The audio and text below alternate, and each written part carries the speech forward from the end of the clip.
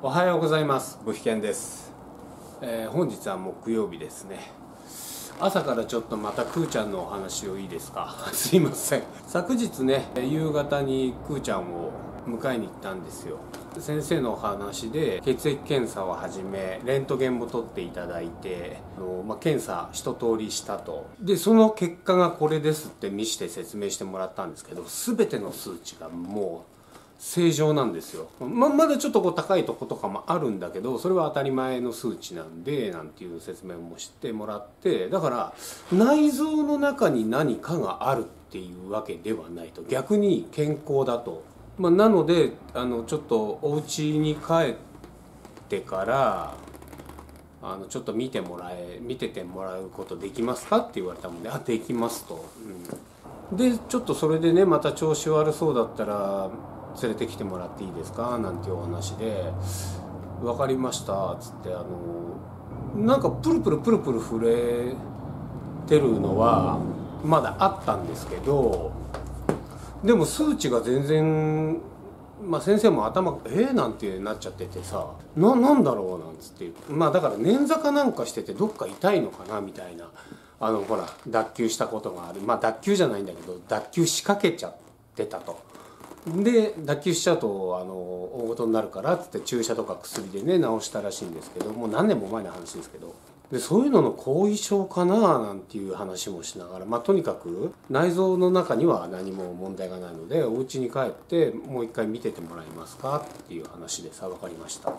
でまあ連れて帰ってきてまあ見てたんですけどやっぱちょっと昨日の夜もご飯を残してしまって食べるには食べるんですけどね。残してしまってまあおやつとか食ってたもんでいいんだけどでお散歩に行こう行きたがんなかったんですよ。いつもだったらお散歩行かないとすごい催促してくるんだけどそれもなくてまあそれでも一応こう病院に連れてった時は歩けなかったのでこれで連れてって帰ってきたらまあ普通にこうやってテコテコ歩いてたからちょっとあれだな良くなってったんだろうなんだろうななんて親父と言ってたんですよね。俺はちょっと心配だもんで俺ちょっとくーちゃんの横でくーちゃん自分のベッドで最初寝て明け方になると潜り込んでくるんですけどこれちょっとくーちゃんの横に布団引いて親父俺今日ちょっとそれ見ながら寝るわなんつってね。でまあ昨日こうやってずっと寝てる姿を観察してたんですけどまあスピスピスピスピ寝てるんですよ。気持ちよさそうに。そんなもんでああじゃあ大丈夫なのかななんて思ってて今朝。今朝ね。あ前の日にね先生に言われてたんですよ。まあお家で見ててもらって。で明日ね請求されてたお金をあの明日払いますよって言ってたもんでじゃその時にもしくーちゃん調子悪かったら一緒に連れてきてくださいって言われてたんですけどまあ今日の今朝朝ですよね。見たらまあ普通にピョンって起き上がってさいつもみたいにカリカリベランダ行きたいってややってたもんでああ昨日より全然良くなってんな何だったんだろうなって親父と話しててさやっぱ捻挫とかしてんのかなどっか。してたのかななんていう話でさ。で朝飯食ってる時もさくーちゃん自分のご飯があるんだけどさつまいも入れてるんだけど今。病院のご飯食べなくなってきちゃってるもんで。でさつまいもだけ今日は食べてたんですよ。でやっぱ病院のご飯残してて「くーちゃん食べなきゃダメだぞ」なんて言ってて気づいたんだけどくーちゃんのねあのまああの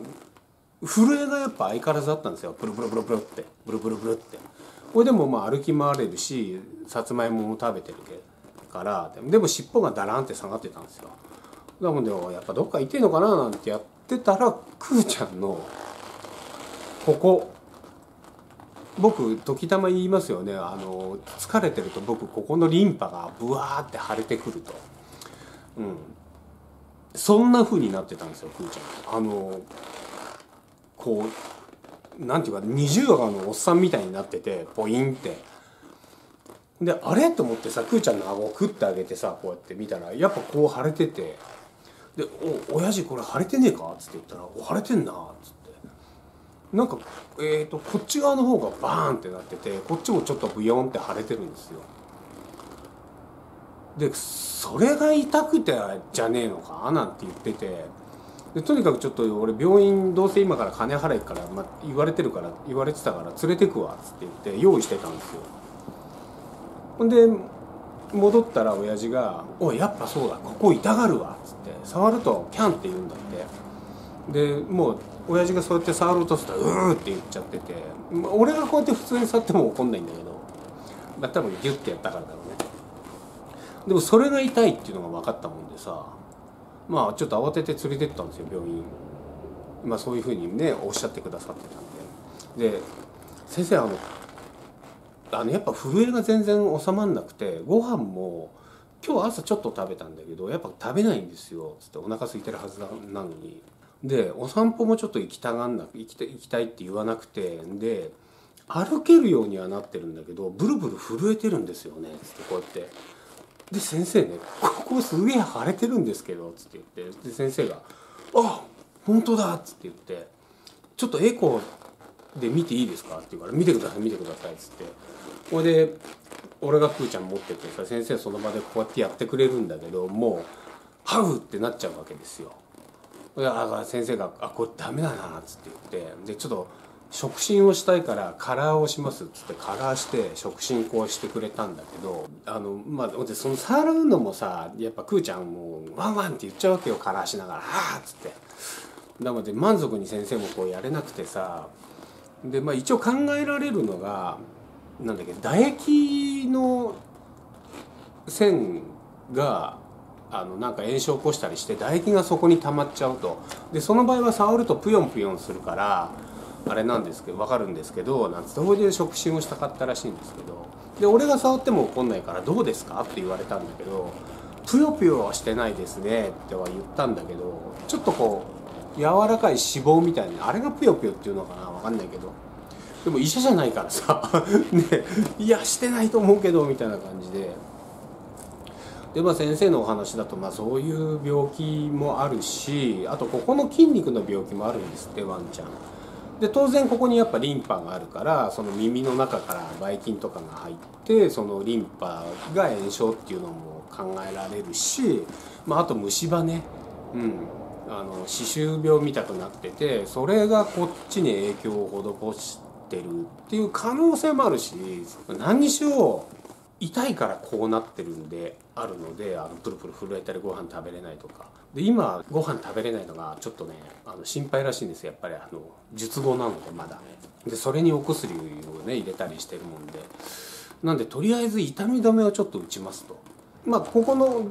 痛みでプルプルしてると思うんでその痛みが治まれば、まあ、炎症とかもちょっと治まるかもしれないっていう話で痛み止めを打ってすぐ調子が良くなるからそしたらでまあ一日様子を見てもらってまたその明日の朝とかまたどうしようもないような痛がり方してたらちょっと連れてきてもらっていいですか？っていうお話で今帰ってきたんですけど。でまあ冒頭に出したと思うんですけど朝のくーちゃんね帰ってきてからあのもう病院で注射打たれたすぐ後から震えが収まってさこれでもうなんていうかな歩きたい歩きたいってなったもんでさ家帰ってきてすぐ散歩行ったんですよ。ですごい軽快に歩いてたんですけどで帰ってきたらご飯もバクバクバクバク食い出したもんでやっぱここが痛かったんですよね。うん。まあだから明日の朝どうなってるかでもう一回ちょっと病院に連れてくんですけどね。うん。まあここからは笑い話ですけどね。あ結局昨日一日入院したわけですよくーちゃん。で全身の検査してもらったんですけど、まあ、そのご請求の金額はですねあの5万3000円というやつが来てまして 昨日。ああ胃が痛くなってきちゃった考えた。俺当然ちょっとそのお金がなかったもんで「あすいません明日持ってきます」って言ってでそうなったもんでその時にくーちゃん調子悪かったらっていう話になってたもんでね。今日お支払いに朝行く予定だったじゃないですか。そしたらくーちゃんやっぱ調子悪かったもんで先生にも言われたから連れてったんですよ。ほんでまたちょっと見てもらって注射とか打たれたもんでまたプラスになりまして 5万7千ぐらいになっちゃってさ今日 昨日のと合わせてだけど。5万7千円ですよ。ねこの間この間って何日か前に13万払ったばっかですよ。痛いな痛い。うん。えー、そんな感じでねちょっとね今から作業をやるんですけどねこあの話が長くなっちゃったんでこの動画はこの動画で作業の動画は作業の動画で出しますよ。あちょっとねもうこの借金の増え方は異常ですよ。ね。やべえな。参った。